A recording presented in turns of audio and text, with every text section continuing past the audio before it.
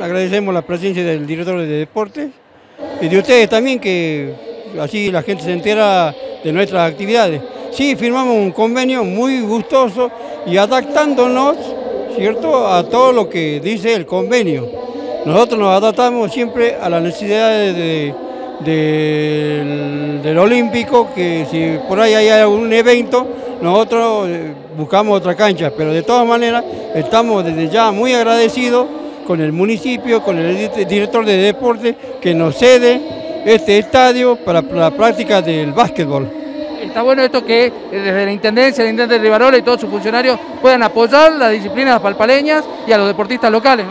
Sí, efectivamente, nosotros como institución hemos crecido, pero numerosos jugadores que prácticamente no, no hacen falta canchas para poder practicar este deporte.